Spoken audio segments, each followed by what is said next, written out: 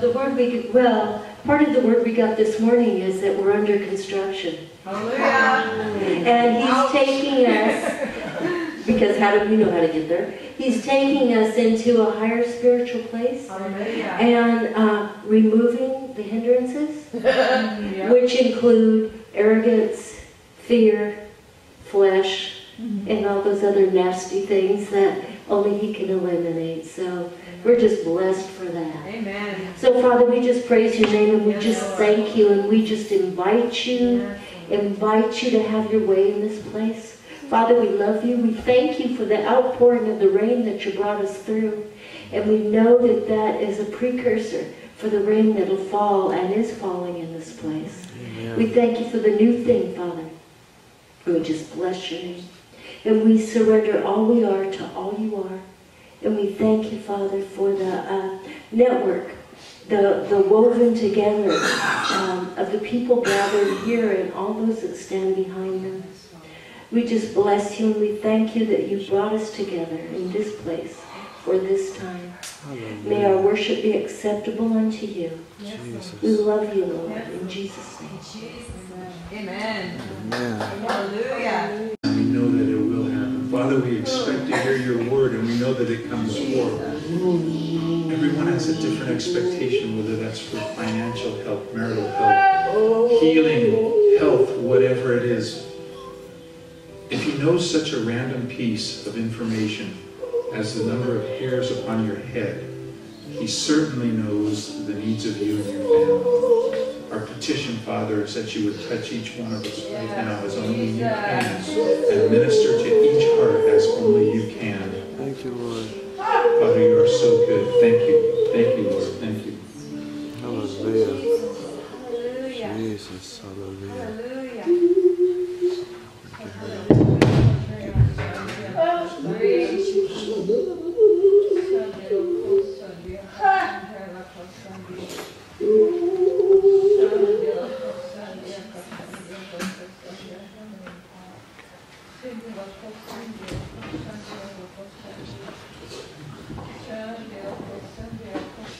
Hello, everybody. Hello. Man, the trip over here was a adventure. I got a power wash. My car is cleaner right now than it has been in months. I was able to see out of the windshield when I got here, and I, it was like, oh my gosh, it's so clean. God has a way of cleaning us up, and He does it through storms sometimes. Word, the word. Amen. Thank you all for the worship. That was awesome. Oh, I'm going to pray a minute and then we're going to get started here.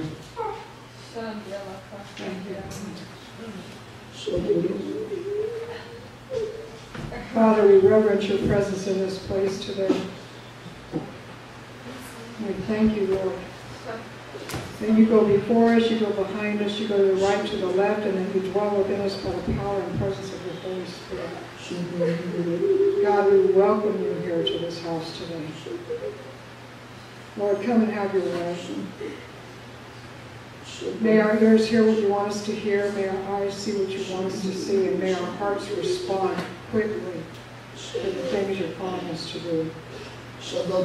Father, I pray that your word will go forth in power and it will go forth in love.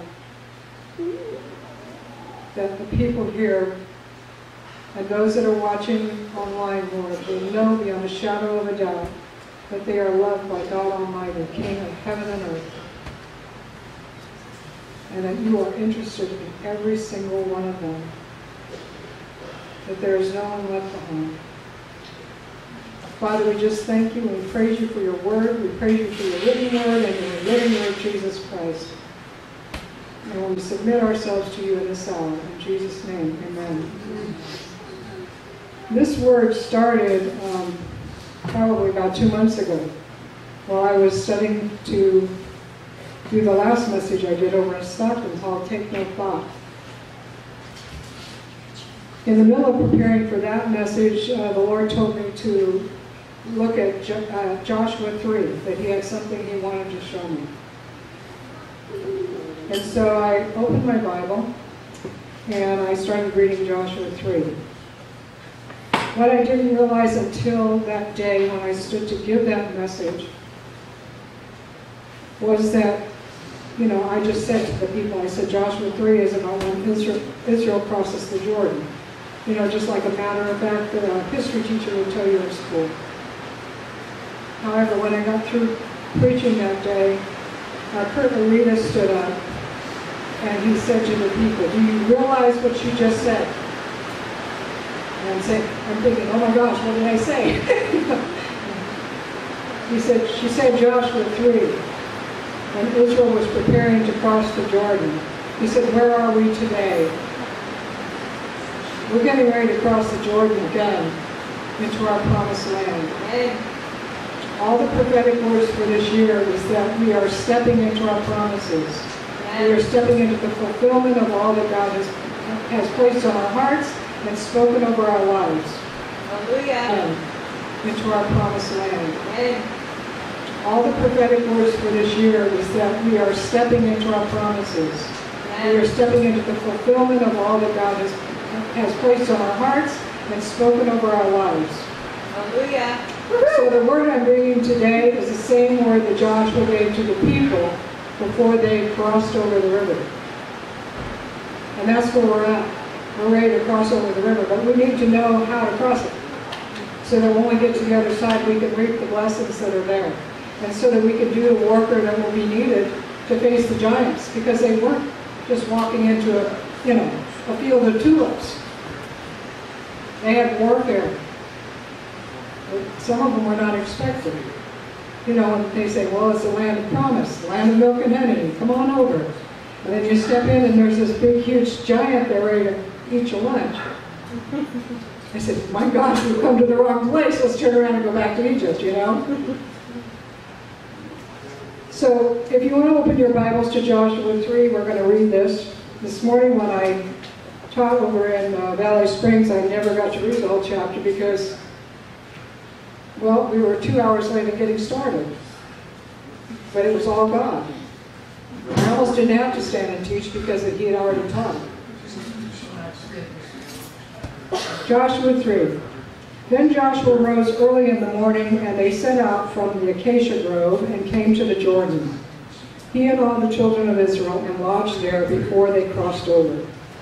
So it was after three days that the officers went through the camp and they commanded the people, saying, When you see the ark of the covenant of the Lord your God, and the priests and the Levites bearing it, then you shall set out from your place and go after it. Yet there shall be a space between you and it, about two thousand cubits by measures. Do not come near, that you may know the way by which you must go, for you have not passed this way before. We are crossing over, we are passing into something that none of us have ever seen before. No one on this earth has ever seen before. It has never been recorded ever what God has planned just to cross this river that we're about to cross. Joshua said to the people, Sanctify yourselves, for tomorrow the Lord will do wonders among you. Then Joshua spoke to the priests, saying, Take up the ark of the covenant and cross over before the people. So they took the ark of the covenant, and they went before the people. And the Lord said to Joshua, This day I will begin to exalt you in the sight of all Israel, that they may know that I was with Moses, and so I will be with you. You shall command the priests to bear the ark of the covenant, saying, When you come to the edge of the water of the Jordan, you shall stand in the Jordan. So Joshua said to the children of Israel, Come here and hear the words of the Lord your God. And Joshua said, By this you shall know that the, that the living God is among you. They had just come from Egypt, where there were no living gods. But they're going to see the living God.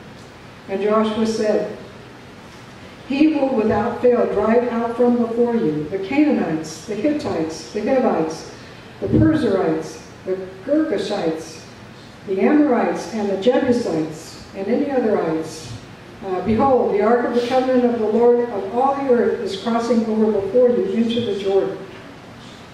The ark of the covenant of the Lord of all the earth is crossing over before you into the Jordan. Today we have the ark of the Lord of all the earth crossing before us across the Jordan.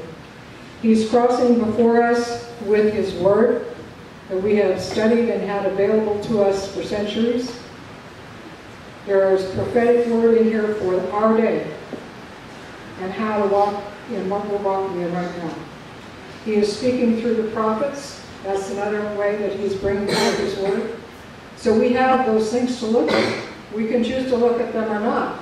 But if we want to get across the Jordan, we better be looking at them. Behold, now take, therefore take off, take for yourselves twelve men from the tribes of Israel, one man from each tribe. And it shall come to pass, as soon as the soles of the feet of the priests who bear the ark of the Lord, the Lord of all the earth, shall rest in the waters of the Jordan, that the waters of the Jordan shall be cut off. The waters that came down from the upstream, they shall stand as a heap. And so it was, when the people set out from their camp to cross over the Jordan, when the priests bearing the ark of the covenant before the people, and as those who bore the ark came to the Jordan, and the feet of the priests who bore the ark dipped in the edge of the water, where the Jordan overflows all its banks during this time of harvest. The Jordan was at its fullest state. It couldn't get any fuller. It was just like overflowing its banks. And God was telling the people to cross the river. You better know who's leading you if he's asking you to cross a roaring river.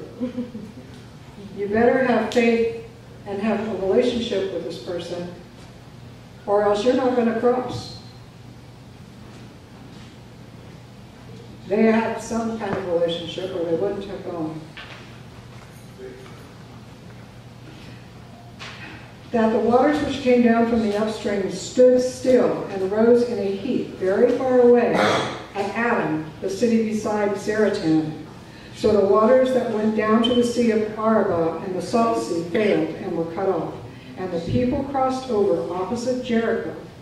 And the priests who bore the ark of the covenant of the Lord stood firm on dry ground in the midst of the Jordan.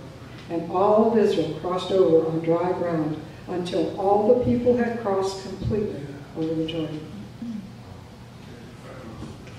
There was one sentence in that reading that jumped out at me that day and was sanctify yourselves for tomorrow the Lord will do wonders among you. That's Joshua 3 5. A couple of weeks ago, while I was working on this message, uh, one of the ladies in the congregation handed me a book by Bobby Conner that had just finally been released. It was his Shepherd's Rod for 2015. And she said, you need to read this. God told me to give it to you. I've read it, and he's told me to give it to you. So I sat down the next couple of days, and I looked it over. And um, he started sharing the revelations that God had given him on the Day of Atonement last year. And the very first thing he said was, prepare to be awestruck by the presence of Almighty God. Draw near to God and don't delay. It is time to hear clearly and follow his instruction without a moment's hesitation. A God-given revelation is coming that God reigns and is completely in charge. Amen. Tell my people, do not be afraid. God, your heavenly Father, is in control. Prepare to be awestruck. Then he went on to make the point that sanctification and consecration will be needed. And I thought, well, there, there's that word again, sanctify. And I looked it up, and sanctification and consecration have the same root meaning. They're exactly the same word. You wouldn't think so, but they are. This is what it looks like in Hebrew. And you read it from right to left. And that first letter on the right is a kuf. And wherever you see that letter, holiness is involved somewhere. And when the rabbis read their scrolls, whenever they see that letter, they know that something's being said about holiness. And then that letter in the middle is a dalet. It's like a doorway. And that one that looks like a fire, a, a W on fire, is a shin. And it actually has to do with the fire of God consuming our enemies. And it's the fire of His love that is willing to go to any lengths to set us free. Amen. Thank you, Lord. So sanctify is a verb meaning to be set apart, to be holy, to show yourself holy, to be treated as holy, to consecrate, to dedicate, to declare as holy, behave or act holy. It's the act of setting apart, drawing someone or something from profane to ordinary use. And when I was sharing in Valley Springs today, they were talking about this wonderful outreach they had here in Modesto over the weekend. And I said, that's what they were doing. They were taking people out of this profane, ugly mess of a life and redeeming them, sanctifying them, putting them in the place of where God wants them, reminding them, telling them, maybe for the first time, that God considers them holy. He has sanctified them. He has called them to be His own. And for many of them, I'm sure that that was like the first time in their life they ever felt any value whatsoever. And here's the God of the universe saying, I call you holy. Awesome, awesome God that you're God. serving. The sanctification of the people did not consist of washing their clothes. And a lot of commentary that you read says, well, they went and they washed their clothes and they changed and they got ready to meet with God.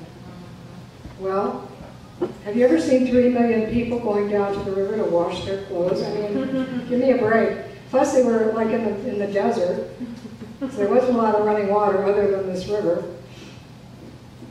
But it consisted of a spiritual purification, a turning of their hearts to God, in faith, trusting in His promises, and willing to be obedient even though it looked like impossible. Has God ever asked you to do something impossible?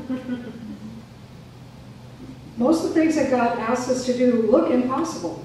And for us, in our own strength, they are impossible.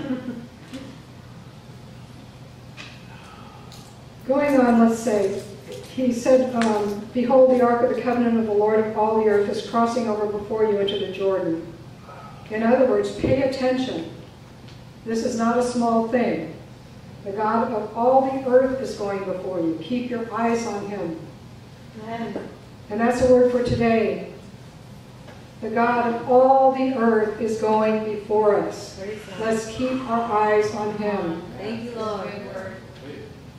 Everything around us is clamoring for our attention to put us into fear and worry and anxiety. Come on. And we are not giving into that junk. Amen. We are going to keep our eyes on the Lord and on His Word.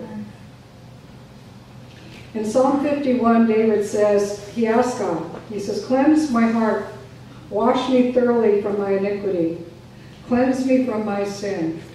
Behold, you desire truth in the inward parts, and in the hidden part you will make me know wisdom. Purge me with hyssop, and I will be clean. Wash me, and I will be whiter than snow. That word wash jumped out at me. And so I decided to look it up. And that's what wash looks like. That first letter on the right is a kuf, is it? Kuf, yeah. I'm asking my other Hebrew scholar here. Mm-hmm. The one in the middle, again, is a bet. And then that last letter is a summit. Now, all of you Hebrew students know that. I didn't even need to tell you, right? It means, it's a primitive word, and it means trample. The word wash means to trample. By stomping with your feet, it was the job of a fuller. In other words, they put their laundry down in the water and then jumped up and down on it with their feet to get it clean. Or if you see these pictures of the women down at the river beating their clothes with a, you know, a stick against a rock. I mean, it's that kind of a thing. So wash wasn't, you know, something nice and gentle. Wash was something pretty brutal. Okay, that first letter means to bend down or to surrender. Koth. Bet is divide or division, and it means house or family, or God's dwelling place. And the samak means to lean upon as a prop or an aid or assist or support. And it also stands for the heart of God. So when you put all those letters together, it means to surrender to God's hand as He separates you or divides you out from the world and puts you back in His house, causing you to lean on His heart for support and putting to death all your pride and your conceit and all your, I know how to do this, you don't need to bother me, God. So the next time you ask your kids to go wash, you might want to consider that. Or if God asks you to go wash, you may want to consider that. There's a scripture out of Malachi that says, Who can endure the day of his coming, and who can stand when he appears? For he is like a refiner's fire, and like fuller's soap. Like I said, the fuller's soap was a trampling to get the clothes clean. There's two examples in Scripture that also go along with this. Uh, Psalm 119, David wrote. This is Psalm, Psalm 119, 102, 101, and 102. I have restrained my feet from every evil way, that I may keep your word. I have not departed from your judgments, for you yourself have taught me. And Paul writes in 1 Corinthians 9.27, Like an athlete, I punish my body, treating it roughly, training it to do what it should, not what it wants to. Not what it wants to. Who's in charge? Holy Spirit better be in charge. Otherwise, I fear that after enlisting others for the race, I myself may be declared unfit in order to stand aside. Romans 8, 13 through 15 says, For if you live according to the flesh, you will die. But if by the Spirit you put to death the deeds of the body, you will live. For as many as are led by the Spirit of God are the sons of God. So Joshua said, Sanctify yourselves, for tomorrow the Lord will do wonders among you. He could have said, you know, sharpen your swords, shine up your shields, and get ready, because we're going into a land of giants. Get ready. But it wasn't military preparation that they needed. They needed a, a heart change. Come on. God was about to reveal himself right in the middle of them, and they were going to meet the God of all the earth. Their parents had met him at Sinai, but they hadn't seen him since. They were ready to meet the God of all the earth.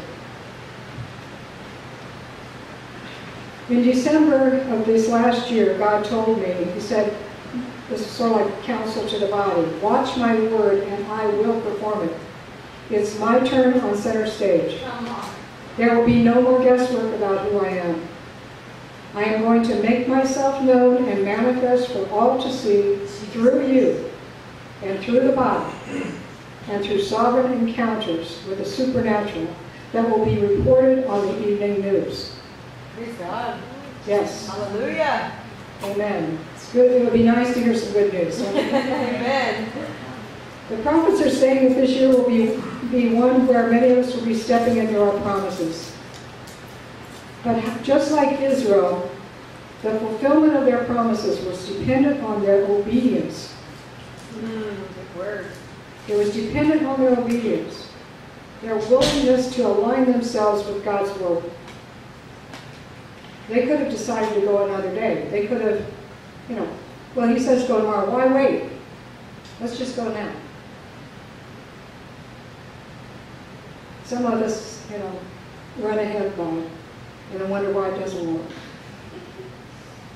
It just doesn't. Some of God's promises are unconditional, and all we have to do is believe them. Just like, you know, Jesus is going to be born in Bethlehem, that's, that was a given. That was going to happen no matter what. However, there's other promises that require us to meet certain conditions. In meeting those conditions, we're not earning God's blessing, but we're preparing our hearts to receive God's blessing. So let's look at the word sanctified again. In Numbers 3.13, God said something that sounds really strange to us. He says, On the day that I struck all the firstborn in the land of Egypt, I sanctified to myself all the firstborn in Israel, both man and beast. They shall be mine. I am the Lord. Notice that he says, you know, I'm sanctifying all the firstborn. A lot of them had not even been born yet. They had done absolutely nothing to earn sanctification. They hadn't done anything to be marked as holy. God just said, these are holy. These are mine. In Jeremiah 1:5 it says, Before I formed you in the womb, I knew you. Before you were born, I sanctified you, and I ordained you as a prophet to the nations. And yet here God tells Joshua to have the people sanctify themselves. So in one case, God's sanctifying us before we're even born. We don't have to do anything. And then the next breath, he's telling Joshua to them to sanctify themselves. If you look through the Old Testament, you'll see many things that God sanctified. He sanctified the tabernacle. He sanctified every piece that was put in the tabernacle. He sanctified the priests. He sanctified, you know, Israel. He called all of those things his. These, I'm setting these apart as holy to me. In the New Testament, Jesus sanctified us by going to the cross. Amen. And when we received Him as Savior, when we asked Him to be Lord and Savior of our lives, then we got the sanctified stamp on our life. But God did something more. He sent His Holy Spirit to help us walk out that sanctification. There's more to sanctification than just having a stamp. In Philippians 2, 12 through 16, it says, Therefore, my beloved, as you have always obeyed, not as in my presence only, but now much more in my absence, work out your own salvation with fear and trembling. He's speaking to people that are saved. And then he says, work out your own salvation with fear and trembling. Uh, just doesn't, it sounds like it doesn't compute. One minute he's saying you're saved, and the next one he's saying you got to work it out. Well, God gives us the will and the ability to do His will, but we still have to choose to follow. He can't, you know, He chose not to make us robots. And I'm so glad, because it'd be, it'd be pretty boring, actually. Edna was teaching at Angels Camp the other night, and it was an awesome teaching. It was wonderful. Proven that it takes 21 days of mental exercise, seven minutes a day, for you to change a mindset. But however, it takes 63 days or three sets of 21 days to completely eradicate the old mindset and create a brand new one. When you have negative thoughts or vows, you know, inner vows that we make, it literally grows a tree in your brain of blackness. And when you have good thoughts, then it grows a, a healthy tree in your brain. Well, it takes a while to take the one down and put the other one up. It takes persistence. It takes work. And so much of the grace message is, you know, you're saved. Isn't it wonderful? We're all going to heaven. There's no work involved. But there is work involved. We're to work with the Holy Spirit. That's why God put him here, to help us. If we didn't need help, why would he be here?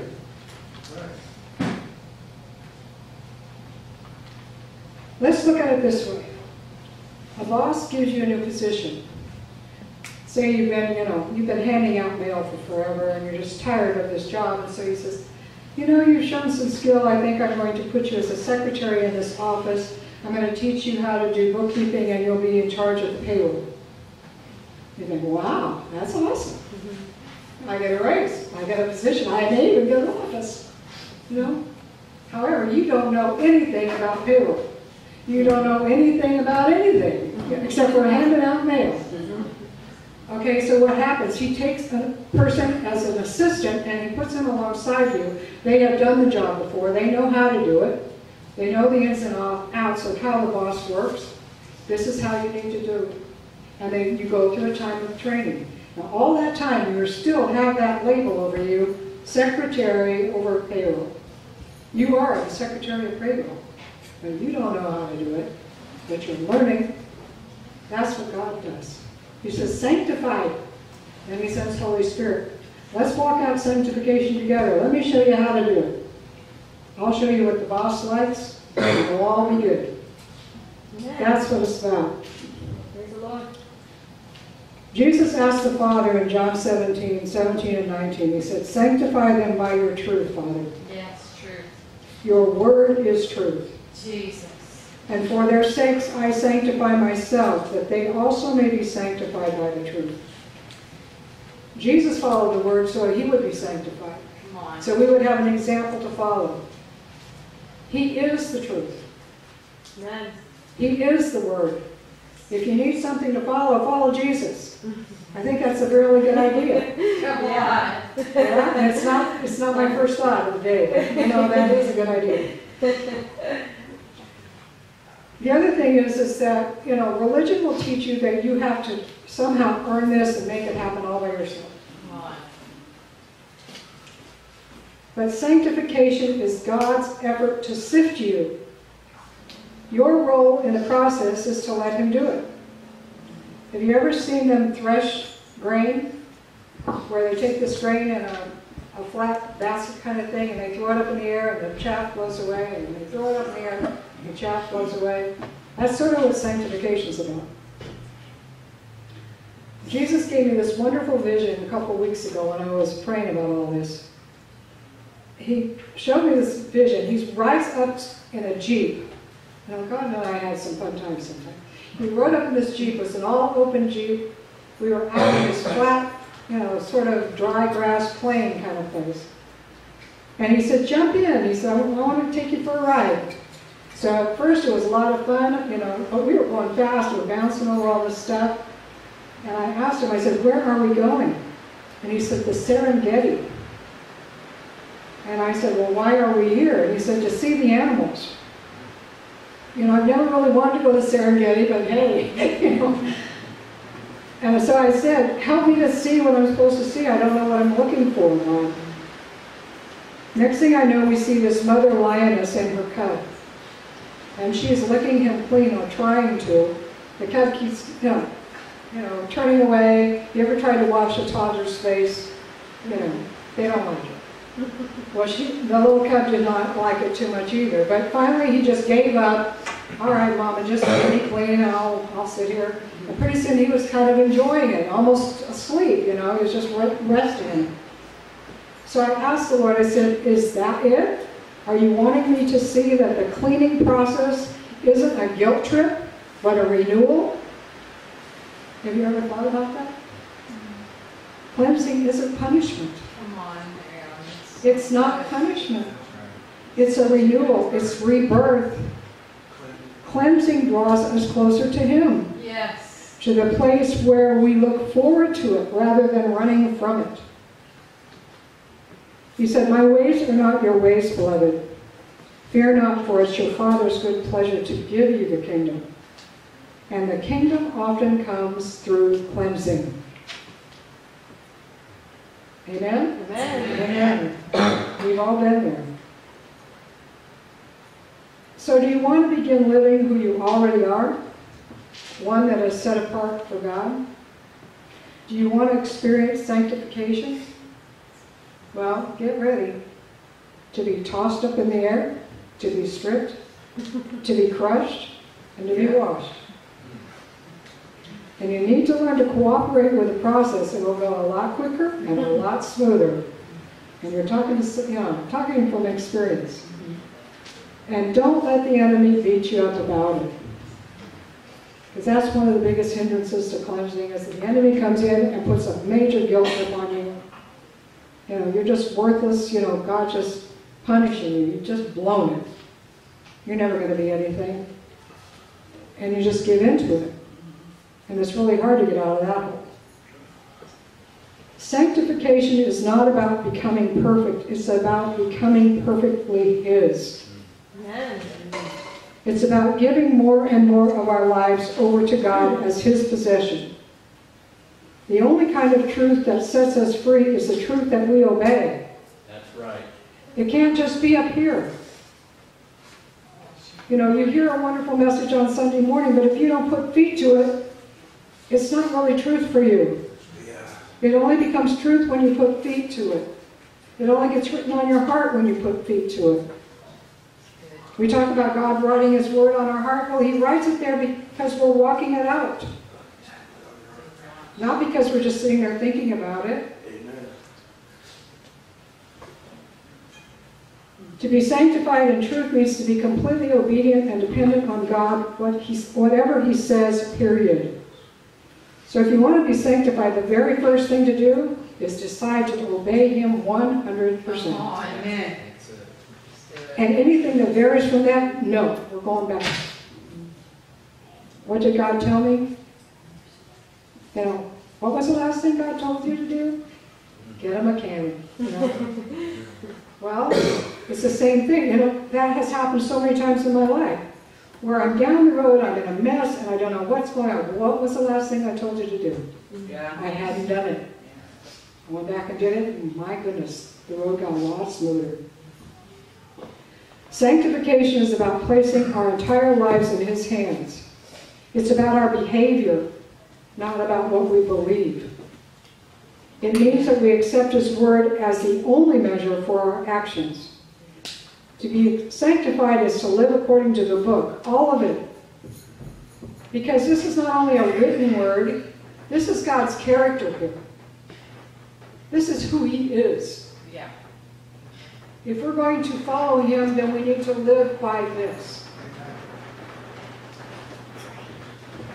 Well, I've been meditating on sanctification now for almost two months.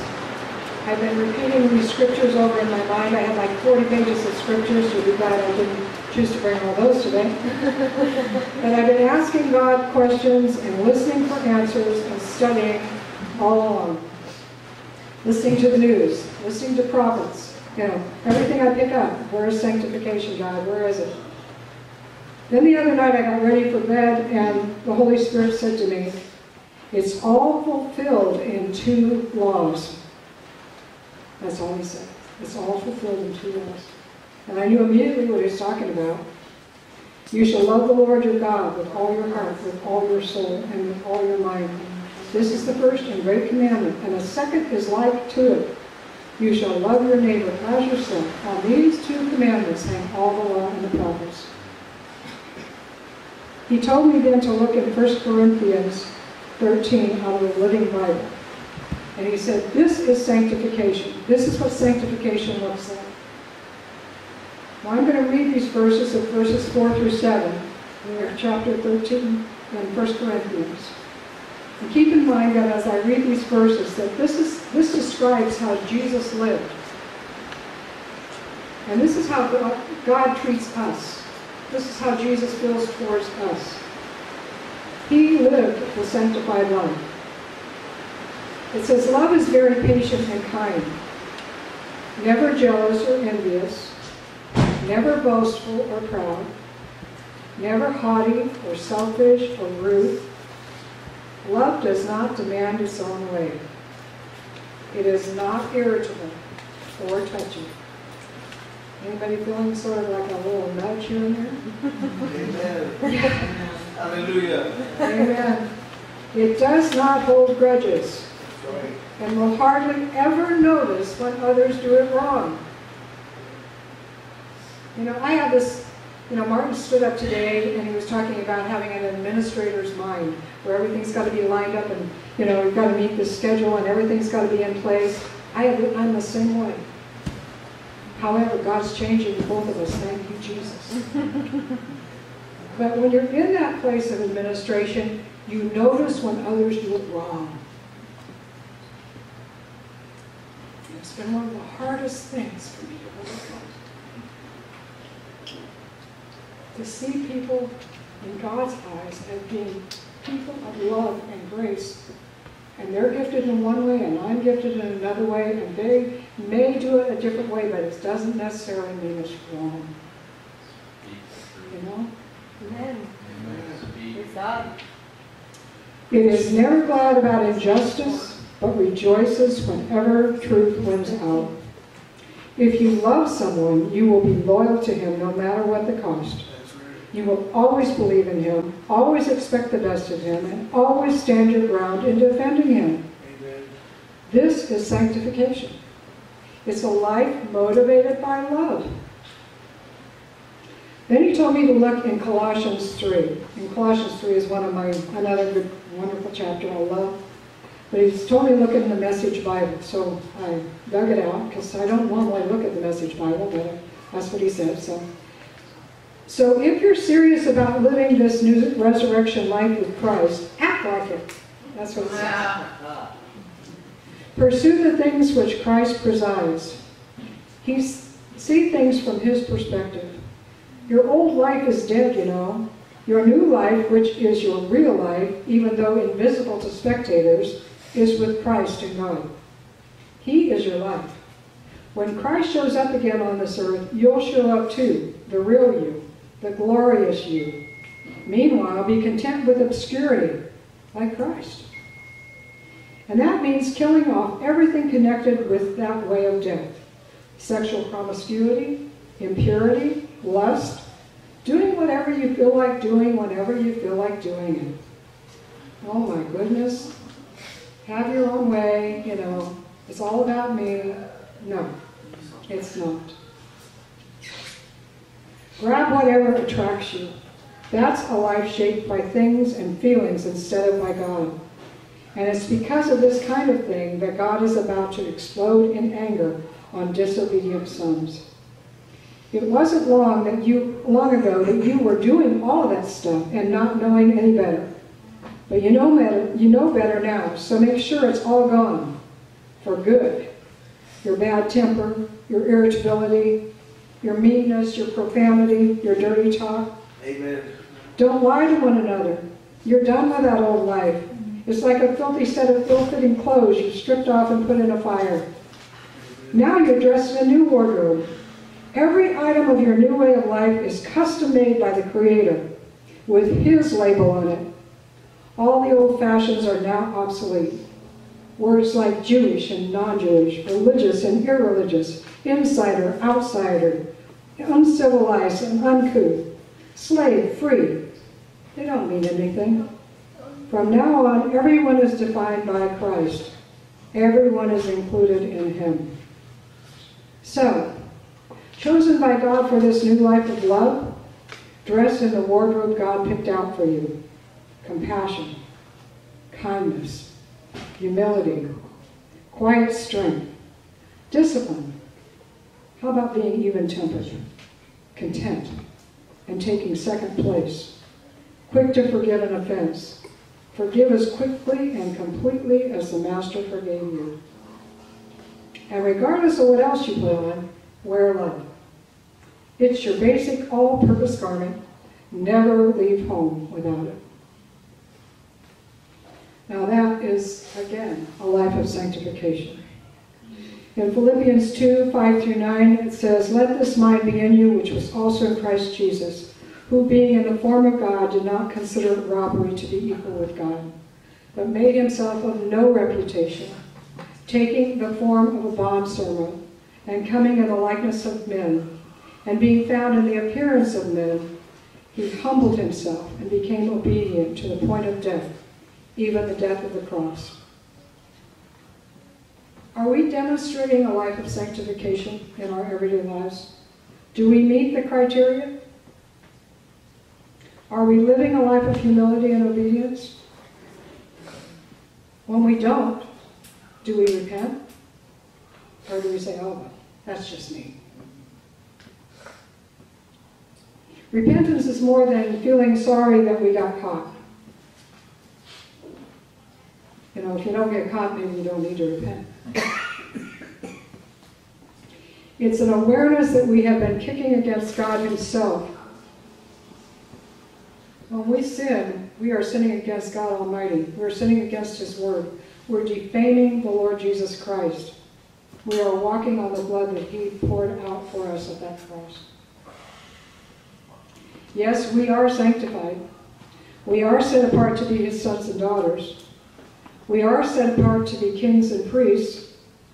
We are set apart, apart to be his spotless bride. But in all these things, we are to look like him.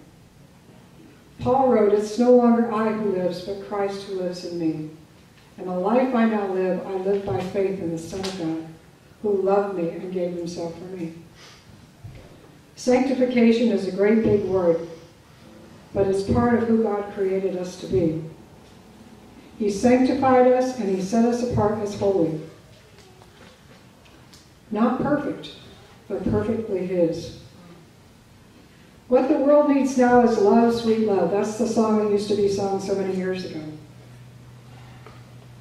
And the word says that even creation groans for the revealing of the sons of God. Well, the love that, they're that the world is looking for is not the romantic, sappy kind of love of roses and chocolates that we're going to have on Valentine's Day. It's tough love. It's a love that sacrifices. It's a love that confronts. It's a love that encourages and heals. It's a love that sets healthy boundaries. It's a love that pulls people out of their ditch and helps them to walk again. It's a love that points out the good things in their life and encourages them to be all that God created them to be. Hallelujah. It's a love that exposes the enemy and brings deliverance so people can fulfill their destiny. That's right. That's what real love looks like. That's right. That's the kind of love the world is looking for. And we have it. He's living right here. In Hebrews 12, it says that God is a consuming fire. And starting with verse 25, it says, See that you do not refuse him who speaks. For if they did not escape who refused him who spoke on earth, much more shall we not escape if we turn away from him who speaks from heaven. Whose voice then shook the earth, but now he promised, saying, Yet once more I shake not only the earth, but also the heaven. Now this, yet once more, indicates the removal of those things that are being shaken, as of the things that are made, that the things that, which cannot be shaken may remain. Therefore, we are receiving a kingdom which cannot be shaken. We are walking into God's divine kingdom manifest on this earth, which cannot be shaken. Let us have grace by which we may serve God acceptably with reverence and godly fear, for our God is a consuming fire. Amen. Now we sing songs about the refiner's fire. We call out for God to send his fire. But we do we have any idea of what we're really asking him for? Yeah. The fire of God comes to cleanse and to purify us, not just to warm our toes. That's right. Amen. It's coming to make us holy. At Passover, the Jewish fathers gather up their children, they light a candle, and they go from room to room in the house, searching in the corners and in the cupboards and in the closets, looking for leaven. Any kind of crumbs of bread or crackers or that kind of stuff. And the kids get so excited when they find some leaven. Because then, you know, it's like a, a big search, treasure hunt. And they put them in a bag, these pieces of leaven. They take them out to a central fireplace in the town. And on a certain time, everybody in the town gathers around this fireplace, everybody throws in their bags, and they burn up the leaven. The leaven represents sin. They are removing the sin from their house so that they can say, Our house is sanctified for Passover. Is your house sanctified for Passover? Is your house sanctified for Passover? Amen. Passover's coming. Hallelujah. As believers, the Holy Spirit brings His fire, and He's the one that searches our hearts. Others may see our sin very clearly. We can, yeah, Oh, yeah. we can see other people's sin really well. And unfortunately, I've discovered that the things that we see in others usually will find a place in us somewhere. We're familiar with it, so it looks really, you know, that, look at that. Well, if you look a little deeper, Mary Ellen, you might find that there might be a little bit in there somewhere. Okay? In Psalm 19 it says, this is the first 12 through 14, who can understand his errors? Cleanse me from my secret faults, and keep back your servant from presumptuous sin. Let them not have dominion over me. In order to live a sanctified life, we need daily checkups with the Holy Spirit. We need to ask Him to search our hearts and let Him show us and lead us back to truth. Truth sanctifies us and sets us apart for God's purpose. Truth is a person, like we said. His name is Jesus. Truth is just not a head full of knowledge. And that's what the Greek thinking thought for years. I mean, the Western thinking, you know, I've got all truth right here. But don't look at my life. That's, you know, that's my life and you don't touch it. But I've got truth. No. The truth is Jesus Christ and His Word. Sanctification is a process. Someone else can come up and pray for you. They can bind and cast off a spirit of fear or lust or insecurity or lethargy or poverty or whatever it may be. And you may feel wonderful for 10 minutes or a half hour or maybe even a week. But we have to make daily choices not to let that thing back in. Come on. And the only way to do it is to discipline ourselves away from the, whatever that was. Sanctification is a co-laboring with Holy Spirit. It requires confession, repentance, receiving God's forgiveness, and then walking in the truth. He's coming back for a spotless bride. In 2 Corinthians 7 1, it says, Therefore, having these promises, beloved, let us cleanse ourselves from all filthiness of the flesh and spirit, perfecting holiness in the fear of God. Let us cleanse ourselves with Holy Spirit's help. There are many prophetic words over this year, and yet sanctification is a core that runs through most of them. Cindy Jacobs calls this year a turnaround year. He said God will give his people a chance to correct their lives mid course, modify, amend, change, transform, or renovate. Repentance in Hebrew is teshuva, and it means to turn. So if this is a turnaround year, could it also be a possible year of repentance? I think so. Hallelujah. Amen. Yeah. I think so. Preach it. Now, normally we run from the word repentance. We don't like it, but it's just like getting your face washed. It's so God can love you even more. You will know His love. You can get even closer to Him. Many are saying that this is the double door year, you know, double portion, double promises, everything fulfilled. Yet those promises are only coming to those who have made God's word their standard, those who are united in love and moving in compassion. He's not going to give us all those promises if we're still out there living like hellions and rebellious people. There is a storm coming, and it will wreak havoc on this nation and in different places of this world. And there will be suffering. But its purpose is not to kill us, its purpose is to reveal our foundation. God is asking, Why do you call me Lord, Lord, but you do not do what I say? You know, we can sit in these meetings every week and be, you know, religious or every Tuesday night or Wednesday night or whatever. We can read our Bibles, we can pray, we can do all that. But if we're not living it, it's all filthy rags. Amen. It's all filthy rags. Amen. He may be asking you, why are you holding on to unforgiveness?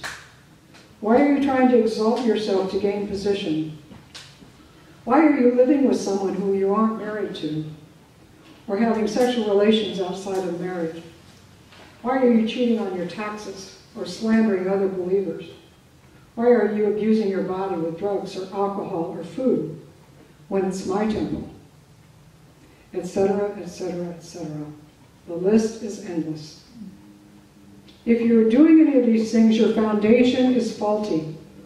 The only foundation that we will that will withstand in the coming storm is the foundation of love. In John 14, verse 21 through 26, Jesus explains what love looks like. He who has my commandments and keeps them is he who loves me. And he who loves me will be loved by my Father. And I will love him and manifest myself to him. If anyone loves me, he will keep my word, and my Father will love him, and we will come to him and make our home with him. He who does not love me does not keep my words, and the word which you hear is not mine, but my Father who sent me. These things I have spoken to you while I am being present with you, but the Helper, the Holy Spirit, whom the Father will send in my name, he will teach you all things, and bring all things to your remembrance that I have said to you. He's our teacher. He's our one to train us. He's the one to assist us in this process. We're not without assistance. On July the 24th in 2012, the Lord said to me, He said, This is the word for my body. Walk before me and be blameless. My ways are right. My ways are just.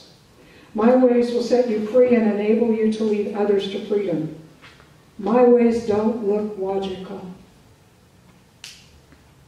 My ways don't look logical. Have you ever heard from God and you say, well, that, that's stupid. Surely, you know, that can't be God.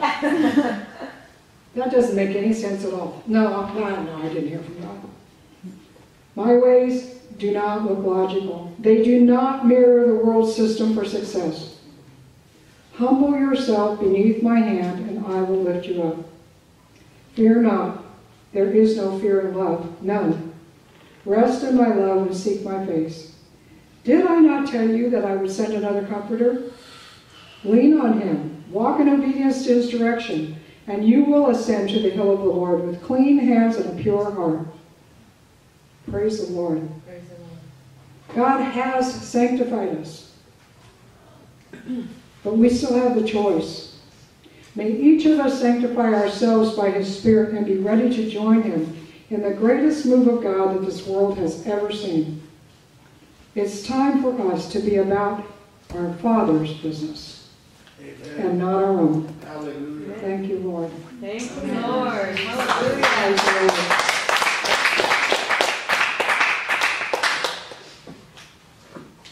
I'm just going to offer a short prayer here. Heavenly Father, even today, Lord, these words, Yeah, you want to share that? I'm telling you, Margot is being used uh, prophetically through song. Uh, yeah, she's blessing people, and it's, Yes, she is. it's spreading into the glow in Merced. Yeah. Yeah, I just wanted to share that Lita invited me to go.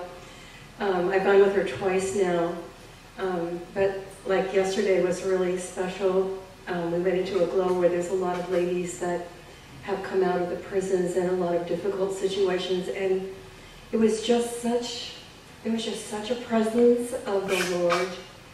Um, the minute I started to worship, um, the Lord had told me the song just to play quietly in the background, and I mean, just the Holy Spirit came in, and Lita was on fire. Um, she was breaking stuff off of all of us and ministering to the ladies, and just to, to see the tears of joy, just to hear the testimonies of the ladies uh, as they were being ministered to was just such a blessing. I mean, I don't know if there's anyone else here that the Lord's calling you, but I want to encourage you that if someone asks you to go with them to to step out with your gifting and share because it was a real blessing to me to be able to be part of that and um, to watch someone else ministering who was ministering in such a dynamic and really powerful way. It was beautiful. Hallelujah. Yeah.